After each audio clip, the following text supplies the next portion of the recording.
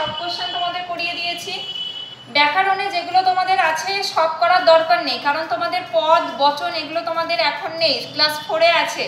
তো এগুলো করার দরকার নেই, তোমরা এইটা করবে যে এক নম্বরে যেটা আছে তোমাদের এক কথায় লেখো, এই চারটে আমি তোমাদের পড়িয়ে দিয়েছি। আর এর পরে যে গল্পটা আছে, এটা তোমরা পড়বে বানর ও কুমির। আচ্ছা বোর্ডে দেখো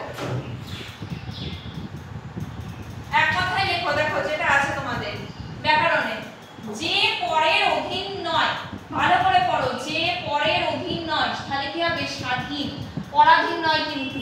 এটা বলছে যে পরের অধীন নয় বলেছে। তাহলে হবে স্বাধীন। পাখা মেলে যে আকাশে ওড়ে, কি হবে? পাখি। যাকে আটকে রাখা হয়েছে, বন্দি। তারপরে যার ভিতরে প্রবেশ করা যায় না, বহন। ব, হ বহন। আচ্ছা হলো, এরপরে দেখো তোমাদের একটা গল্প আছে, বানর ও কুমির। তোমরা ভালো গল্পটা পড়বে। আজকে আমি তোমাদের কোনো কোশ্চেন করাইনি এখান থেকে, কিন্তু পরের দিন থেকে আমি তোমাদের করাবো।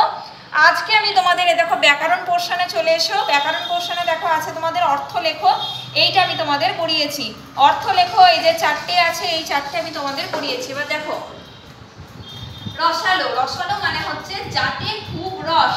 তাহলে রসালো মানে কি বললাম? যাতে খুব রস। সাচ্চা মানে হচ্ছে সত্যি।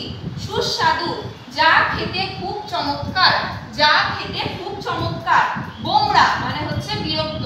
এই কথা তোমরা ভালো করে পড়বে আর বানর ও কুমির যে গল্পটা আছে, ওটা তোমরা ভালো করে বাড়িতে আগে পড়বে। পরের দিন থেকে তোমাদের কোয়েশ্চেন করানো হবে ওখান থেকে।